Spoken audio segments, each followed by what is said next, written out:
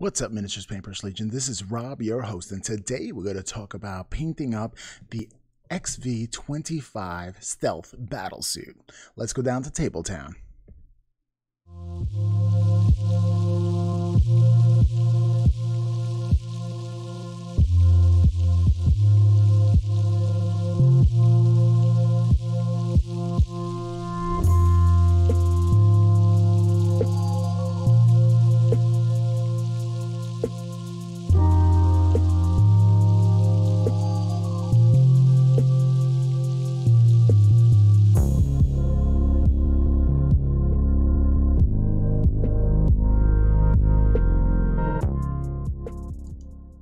Folks, we're going to start off with Stynylrez White Primer. I do like Stynylrez because it is self-leveling, and that's really important because I make errors all the times, and this of fixes it. I like using an airbrush in this stage because it does not clog up anything. Uh, for the rest of the tutorial, it's going to be brush, but I'm just doing this. This can be done with a rattle can if you'd like to. I just like the control that an airbrush gives you. So therefore, I have them all airbrushed when it comes to priming it at least and you're to see that there's a lot of sub-assemblies going on over here. Uh, they are assembled, but there are sections of it that are apart, and this just helps me for a multitude of reasons. Uh, one, because the endorphins I get from uh, building as I paint it, and I feel accomplishment. Um, I'm to start off with model color black. Another thing is, it helps me reach areas a little more easily than if I were I, I was not subassembling. So that's another thing. So in defense of subassemblies, although some people think that I am a bit extreme when it comes to subassembles, it just makes me comfortable when I paint something up in a subassembly because uh, I just think it's an easier method for me. Uh, it does take a little bit more time to put together, but I think once I start painting, I'm actually quicker in the end, uh, totally. All right, so I'm going to use model color black, and the reason why I'm using model color black is because of all the blacks that I've tried, model color black seems to be the mattest truest black uh, that I have in my collection. So therefore, I kind of rely on it. It's sort of like the staple for me when it comes to black, true black.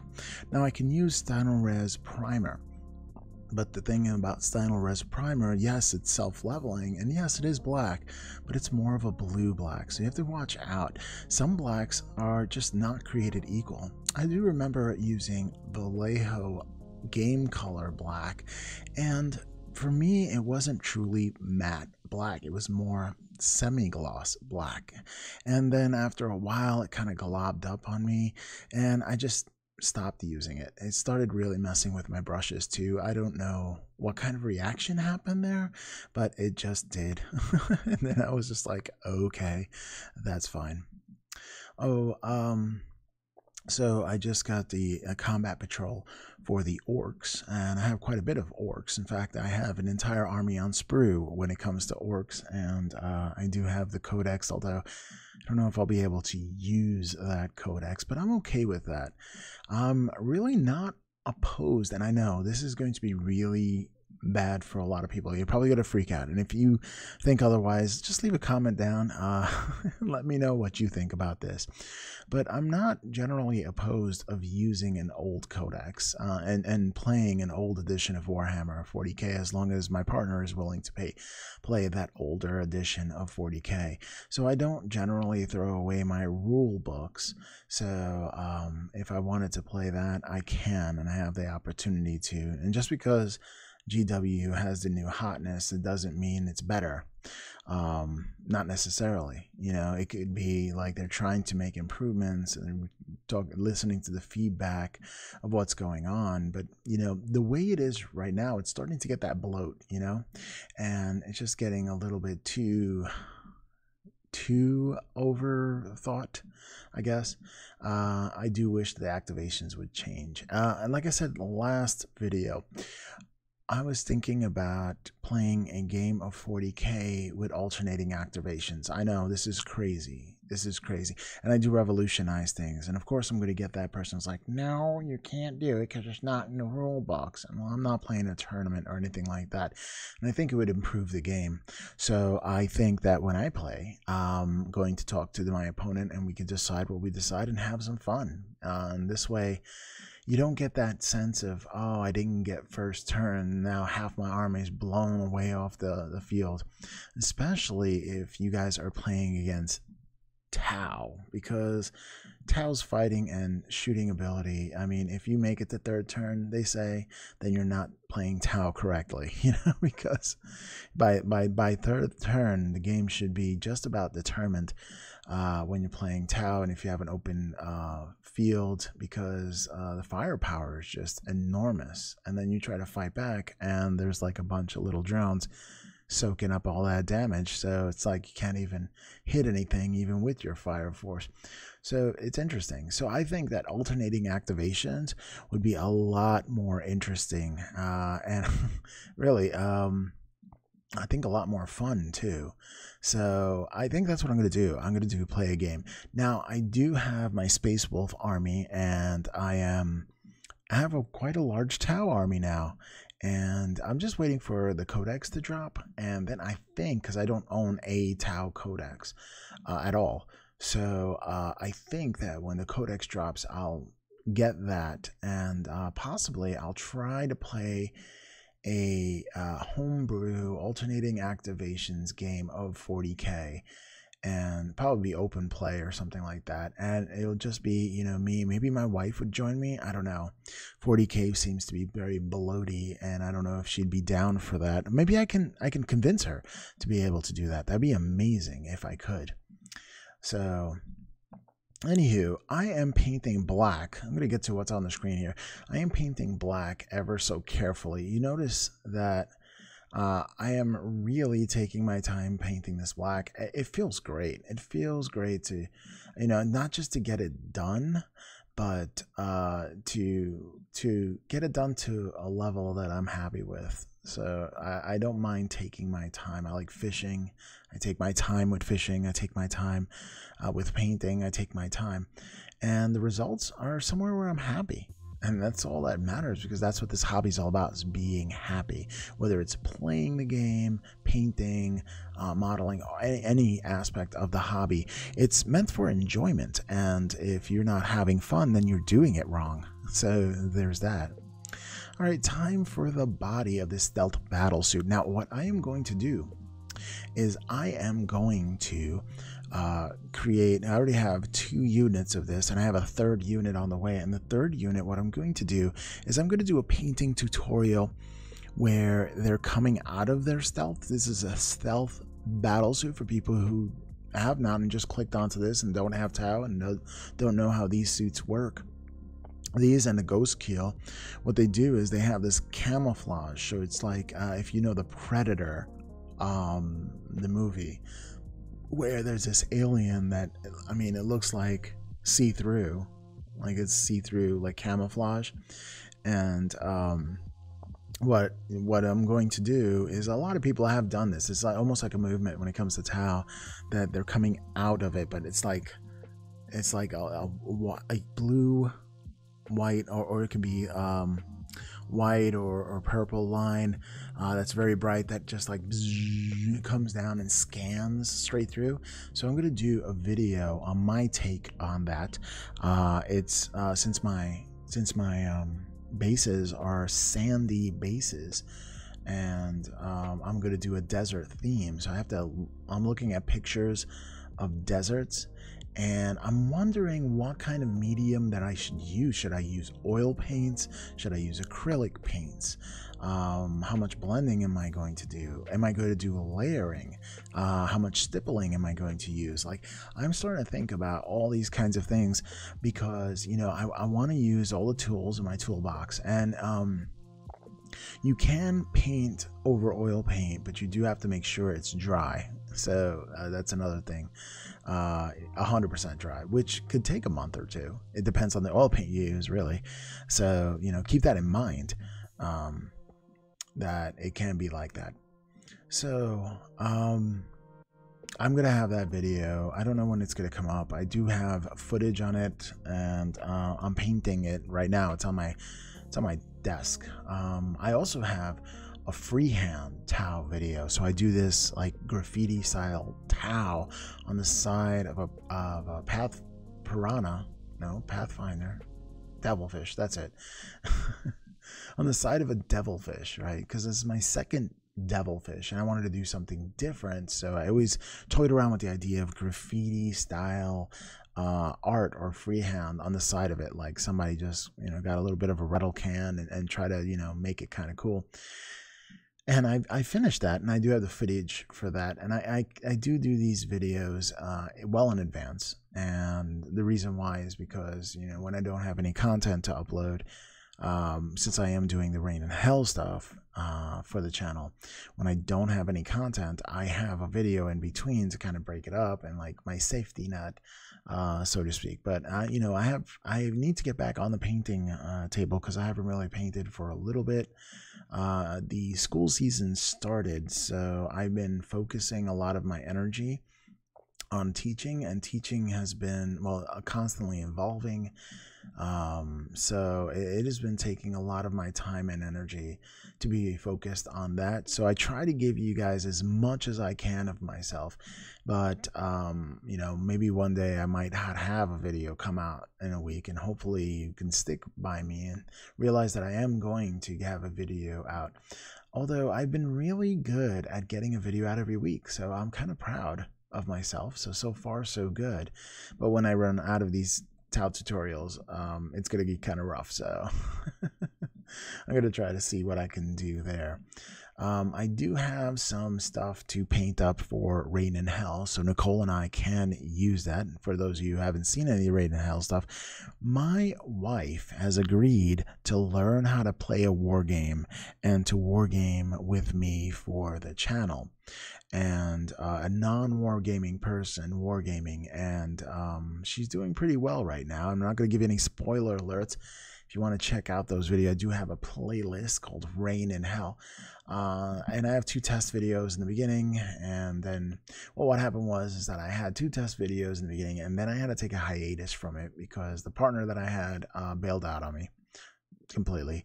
And uh, another person said they were going to um, take up the mantle, but then you know they were super late, and you know I, I am all about punctuality. Like my time is valuable. I need to get stuff done, and I don't have all the time in the world to be waiting around for people. I'm just that way.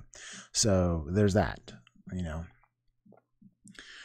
And um, so my wife saw that I was really sad, and. Uh, took up the mantle and said, you know what? I'm going to learn how to pay this and we're going to do battle reports together. I will be your partner. And I'm like, you are amazing. And she is amazing. And hopefully she likes it enough that she wants to continue playing even after we're done with uh, our campaign that we're doing. It's a full campaign. So it's going to be, it's amazing actually. All right, time for the shoulder pads. Uh, again, some model color black. And you to see how I really, uh, get the fine details and use brush control. My pinky is touching my thumb and I'm using that as a brace and I'm ever so slightly getting closer to the edge. You know, I'm just pushing the brush to the edge uh, and getting that in. And that's a technique that you can use, pushing the brush to an edge so you can get that. Um, and it gives you a lot more brush control. So it's pretty, it's pretty cool to be able to balance and to do that. Now my, my pinky is on my forefinger also getting some balance. It's really important to get a lot of different angles here. So here I have the guns. Um, I don't know what the name of this gun is, but it's not the leader's gun. It's the uh, subordinate's gun. So I, I, think they look cool. They're very unique. Uh, I don't know how old this kit is, but uh, I think it's pretty cool. So I'm really happy with it. Uh, it's a lot of fun to build, a lot of fun to paint. Uh, the gaps aren't crazy. Uh, there are some gaps there, uh, which is kind of like tough for me to get to, but I keep on trying, you know, keeping on, fighting that gray. Uh, all right, so time for the leader's gun, which is pretty cool. Some kind of blaster.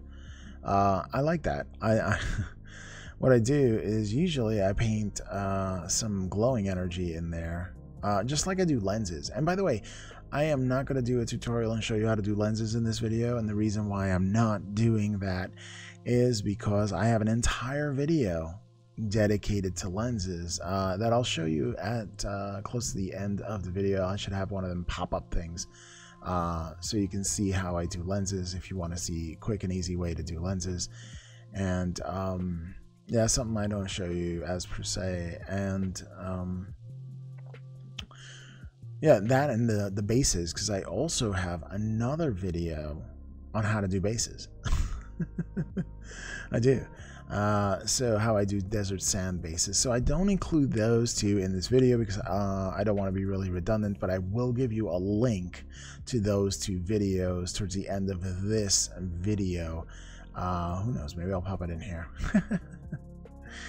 um, so yeah, back on painting the Tau. It's been a struggle for me it's been a struggle. I've been burning out when it comes to the Tau. So, getting the motivation to fight the gray, to, to go back into the saddle and paint some more Tau.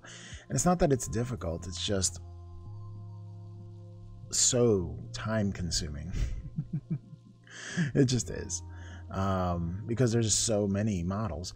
Although, uh, I'm getting there. I'm getting there. I have currently all that I have left is uh, two Battle Force boxes and uh, I have an apocalypse box set. So those are the three things that I really need to get done. And then I have some Forge World stuff. Uh, nothing too major. Um, a battle suit, a big one, and uh, not not an ultra big one. I mean, I wanted that one, but I don't think I can. I don't think I can get that. I don't think unless they came out with a plastic one. But anyway, if they did, the price would be so hefty. I don't know if I'd be able to afford it at this point, and I have enough minis. So, so uh, when it comes to brush painting, you can be a little sloppy in the beginning to get the middle out, but then you have to slow it down for the edges just to make sure you get it right. And um, time is on my side here because I I feel like I should have diluted this a little more than I had right there, but it, the flow aid is helping. I do use flow aid uh, on my wet palette. There's always some kind of flow aid on my wet palette, and you can use different kinds of flow aid. It just helps uh, the brush stay hydrated and the paint keep moving off the brush. Um, so I always keep some in my wet palette so it can get hydrated and uh, it can have that flow improver vibes to it. So flow aid or flow improver. You can use airbrush flow improver. I use Vallejo airbrush flow improver, but I also use Liquitex uh, flow improver, flow aid. So um, either one, it just works and helps. It just if you have a wet palette, I use a Masterson wet palette. It's uh, economically for me the best choice, and um, I use um, the, flow aid on top of the wet palette just to get it going uh, right there. So right now you can see the wet palette back there. Just um, if you get a Masterson's wet palette, throw away the paper that comes with it. It's meant for heavy body acrylic, not for our type of acrylic for miniature painting, unless you go to use heavy body acrylic and then keep it. But I kind of tossed it and got Reynolds um, parchment paper because the parchment paper allows the water to seep through. It soaks really well and it keeps your paint wet. Now, a common misconception is that wet palette just makes your paint never uh, break apart or you know decompose, but that's not true. Your paint will go bad. For me, my paint separates like after a day, like it just separates and it just becomes. Bleh, I got to put some more paint on there. So you know it does take that, and I think because it gets so saturated that you know the the pigment holder, the medium that holds the pigment together breaks apart after a while, and then it becomes a hot mess and just about unusable. Uh, but when I put new paint in there before it even gets hydrated uh, completely, I take some of the old paint that's watered down, uh, that's for lack of a better term, and I, I, integrate it with the current paint right there. So this way I can dilute it all in the same time, you know, throw some flow improver in there, and then I get to back to painting. All right, uh, this is for the drones. I also have a video on drones, like if you want to see how I paint drones. Uh, so I'm not going to paint drones in here either. So a lot of things I'm not doing in this video. That's how I can keep it to a half an hour. Um, but I do have separate videos for each one of these, and I really don't want to be redundant. And for all the people that have already seen those videos, I don't want you to re-see my same exact techniques over and over and over again. But I'll just get straight and, and cut to the chase and talk turkey here. Temple Guard Blue is next, and I use Amarith Blue from Fantasy and Games, scale 75, and then War Colors, and these are the War Colors, and the other one are uh, gel-based mediums, and then FW Daler-Rowney Ink, White, and some, of course, Flow Improver. Um, and what we're going to do here is we are going to do some edge highlighting. So I dip it into Flow Improver, uh, I go into a Temple Guard Blue, I pull some white in there and mix it up, some more Temple Guard Blue, uh, and then some Amarith Blue I have in there as well. And when I get a nice little light blue kind of tone to it, and that's what I want for this edge highlighting. Uh, you can play around with different colors if you'd like to. So now I'm wicking off some of the uh, moisture from the brush, and then I'm just going to edge highlight. Now, when you edge highlight it, use the side of the brush, not necessarily the tip of the brush. If you're using the tip of the brush, it's called freehand. If you're using the side of the brush, then it's called edge highlighting. So there's that. And if you're really good at freehanding and have uh, an incredibly steady hand, then you know go for it. But I like to use the edge of the brush, not the tip of the brush. And painting or edge highlighting on black is so good because if you make a mistake, it's so easy to go back and clean up your mistake with the original black color. I mean, black covers everything very well. So yeah, it's very little stress and a little risk for a great reward and I want to go for a little bit of a Tron kind of theme. And this is one reason why I'm glad I left the arms off because right now I can really get into the body sections and not have to worry about it and you know go sub assemblies for just that purpose right here to be able to get thoroughly all the edge highlighting that I need, all my edge highlighting needs without it uh, really decimating. So I'm gonna get really close up, get brutally close. Uh, so you can see what I'm talking about here. Uh, hopefully I can stay in focus. That's, that's always the challenge. All right, again, using the side of the brush. Now, it is very close to the tip of the brush in it, but uh, it is still the side of the brush and not the tip of the brush. And I'm just going to edge highlight straight out. Yeah, and honestly, it, it looks so much better. Uh, there was a point where I just didn't edge highlight because I didn't feel it was necessary but it just makes things pop. So I do encourage people to edge highlight. And this one, usually I just edge highlight the tops where the light catches would be.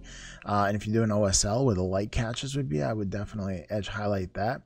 But this one I wanted to go for a Tron look, and that means the light's emanating from all the edges. So I'm going to go very GW type style and edge highlight all the ends right there uh, just to be just to get it uh, looking like Tron. So, and it was a lot of fun to do because with that flow aid, it makes it a little easier uh, to edge highlight and to get really great results with very little effort. And I, I, do like getting great results with very little effort. I mean, I do. I mean, maybe that's me being lazy. It could be.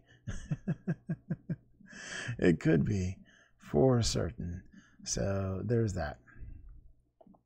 You can see how it's coming along right there. Every edge you see, you need to edge highlight uh, if you're doing in this method right here. Now the arms are on and time to paint some Mechanicus Standard Gray and that's from GW Paint.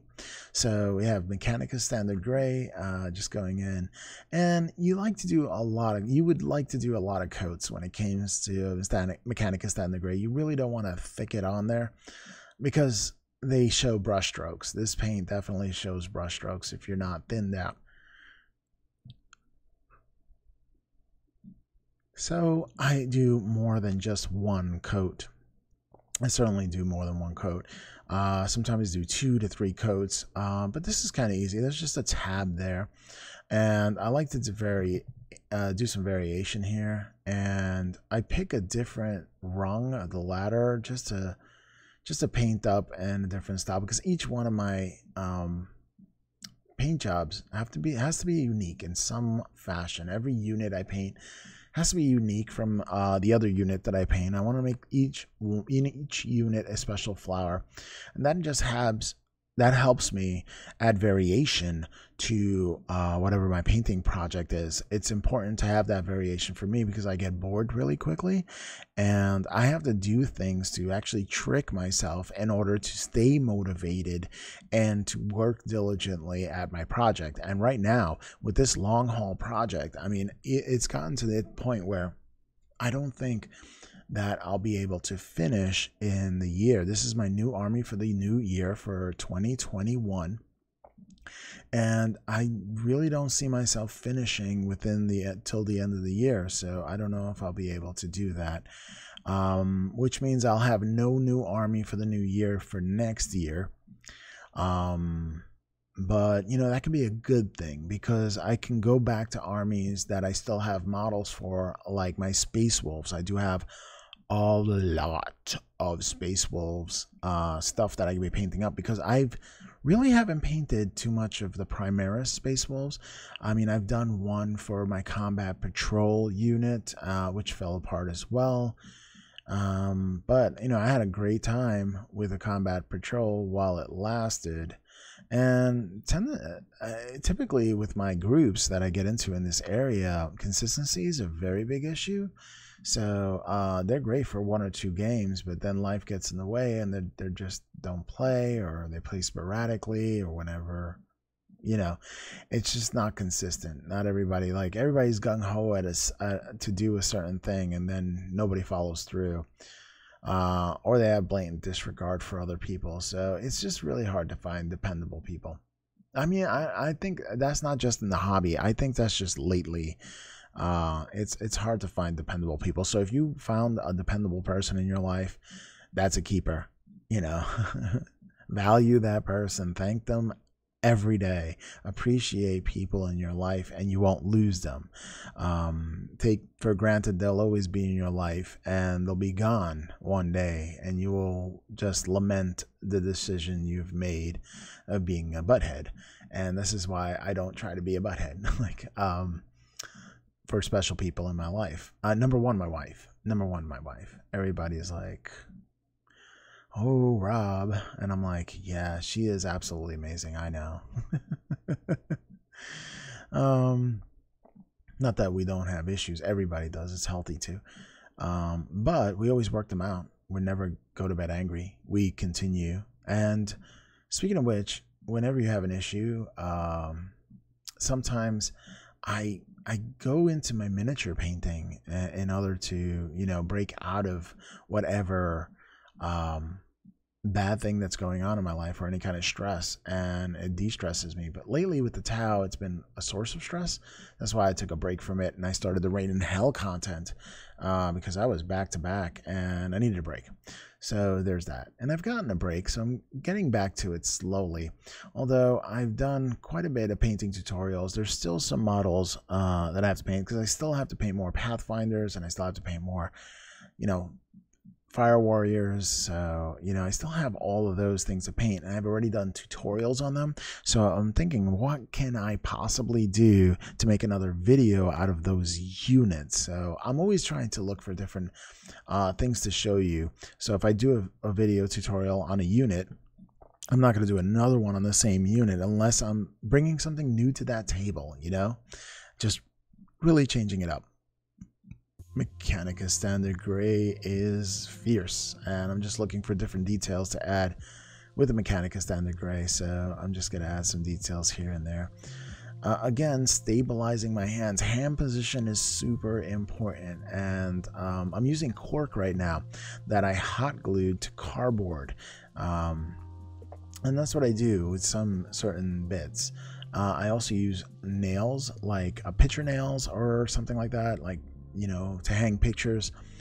And um, they have a flat head, so I can put some poster tack to them and I can get the small little details. And the reason why I leave the shoulder pads off is because I like to paint the whole underarm first. Because sometimes when you put on these shoulder pads, they kind of lift up and you see the underneath. So I want to make sure the underneath is done and done, you know, to my standard. Because I'll keep looking at that underneath and saying it's not painted well, and it'll bother me for my collection. So, yeah, I'm very, very particular about these things. Now, I may or may not play 40k sometimes, but um, but when it comes to the paint job and it's going to be in my cabinet, I have 100% say in what's going to go into my painted cabinet. And you have 100% say in what goes into your painting cabinet or into your army or into your collection. Because you know don't let other people tell you what to paint you know? Because i think painting stuff you don't want to paint only because it's good on the table ruins the joy of the hobby to an extent. So yeah and then people dread painting and it's like that's not cool. I don't think that's i don't think that's fun you know so I say paint whatever you love and be happy and then throw it on the table and hopefully you don't have a total jerk on the other side that's going to blow you off that table.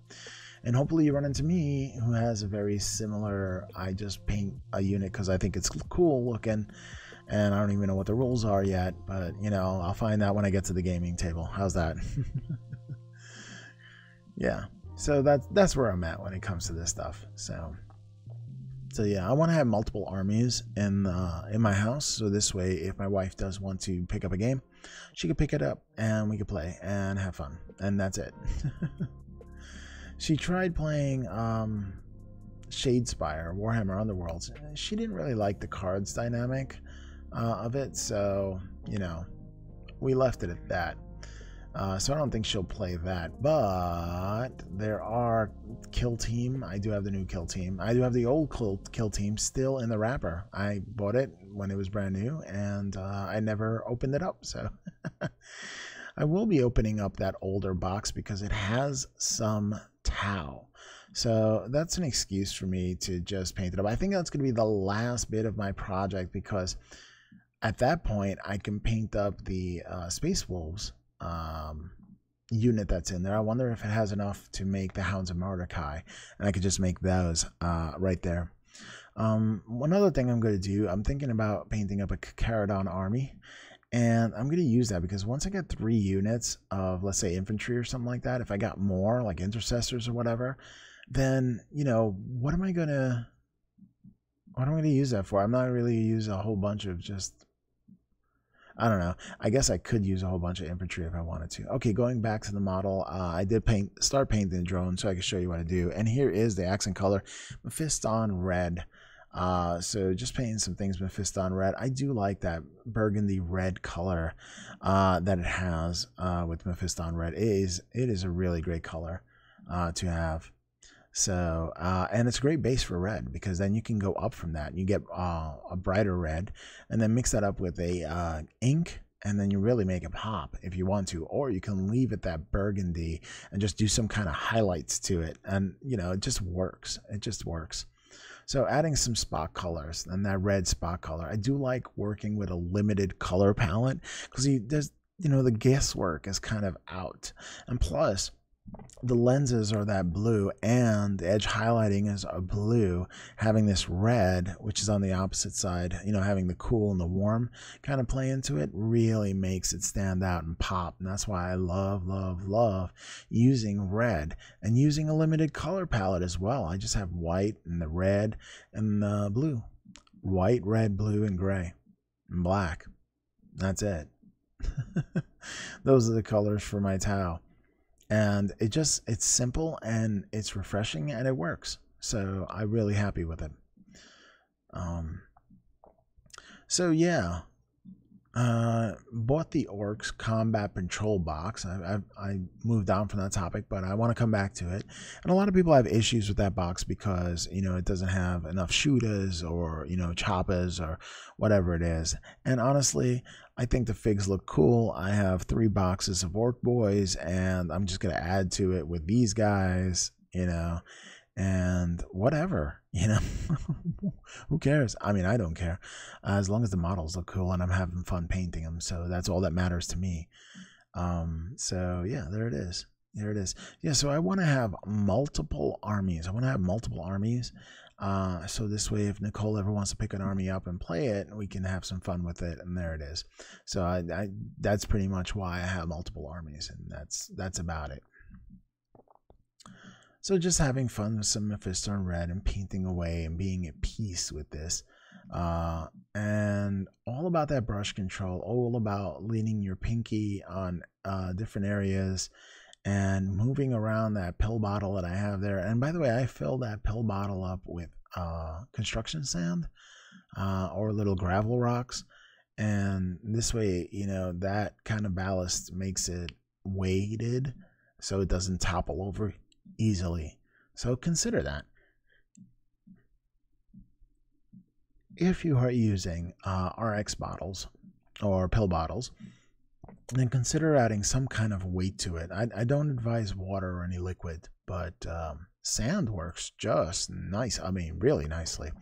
Even if it's playground sand or something like that, if you get yourself a bag. Um, do know that there are certain kind of organic materials that can be in those things. So if you want to put it on a tray, uh, it could be one of those um, cooking trays and you just lay out some sand and, and bake it for a little while. I know it sounds funny, but uh, it really does kill all the organisms. And because I put it on 400 degrees for about 10 minutes or 20 minutes, I don't know. That should be enough. 400 degrees for anything to, to that was surviving in there to die. Um, yeah. so that's what I do. Uh, sometimes with organic materials that I have, I, I basically cook it, and whatever is in there is getting uh, getting done. All right, Mephiston Red, I'm going to do that for the faceplates. Now, I do realize that you're supposed to have a leader have a red faceplate while the other ones have white face plates. But just for these models here, I think they look so cool with the red that I painted them all red. And in order to differentiate the leader, I actually put a decal on the, the right chest plate of the miniature. And that's going to be his badge or his, yeah, his badge and or stripes or that's going to be his identification and not just the red. So it is, I'm going to pop the red face in. Again, I have a tutorial on how to do lenses. I'm going to pop that in right here. So once you're done with this video, you can check that one out And if you want to know how I do lenses. Uh, also, if you want to check out how I do um, how I do bases, uh, then I'm going to put that link up right here. So you can check out how I do the bases. I think that's, uh, you can check that out. And, and if you want to do a desert theme base, uh, that's how I did it. Um, finally, uh, if you want to see how I did all my drones, I do have a third video that you may want to consider, and I'm going to put that one up right here. So you can check that one out if you would interested in how to how I do drones. So there's a lot of different things you can check out for the channel for the tutorial videos if you want to.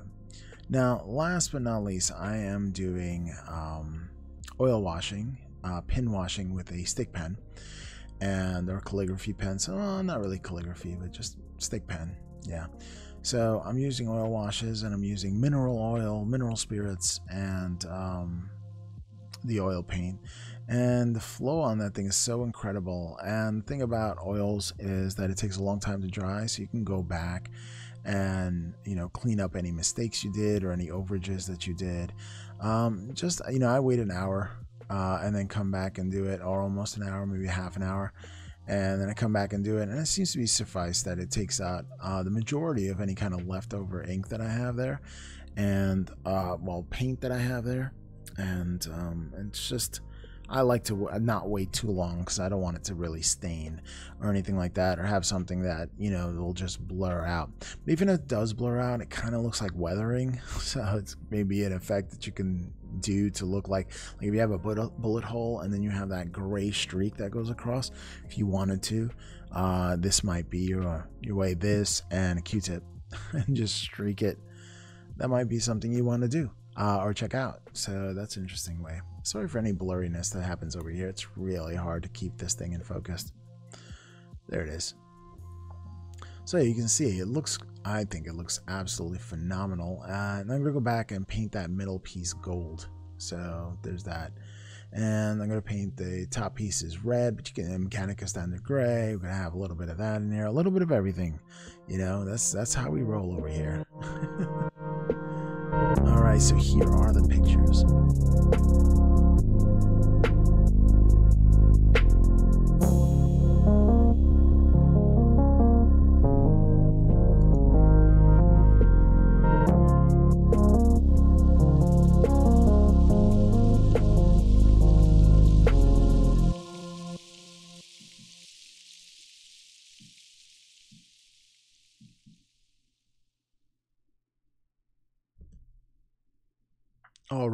Don't forget to subscribe if you haven't done so already. It really helps out the channel. Uh, and you can check out all the new uploads that I do uh, all the time. So, well, at least once a week. Well, I really hope that you enjoyed this video and I hope you got something from it. Uh, I really like that you, I'm really honored that you came hang out with me today and watch this video. Thank you so much. I appreciate you beyond words. Uh, you, we have a Facebook group. It's called the Miniatures Paintbrush Legion on Facebook. Uh, you can join and post your progress pictures of what you're working on for your Get It Done challenge. Um, I do have an Instagram account, although I need to get better at posting pictures there. And I do have a Patreon account. I want to thank my Patreon members, uh, Emily Yasesko and uh, Mike McBroom. Thank you so much for your support. You are amazing and you, you keep my Adobe uh, running so I can edit videos efficiently. And 100% of what I make on those channels go 100% back into the channel to make it a better channel. Um, but you know the kindest thing you can do is is share the channel that's the kindest thing you can do um, get the word out about the miniatures paintbrush and uh, we'll grow the community together. And that would be absolutely amazing. Uh, so I thank you. So if you like this video, like, share, comment, and subscribe, and we'll catch you next time on the Miniatures Paintbrush.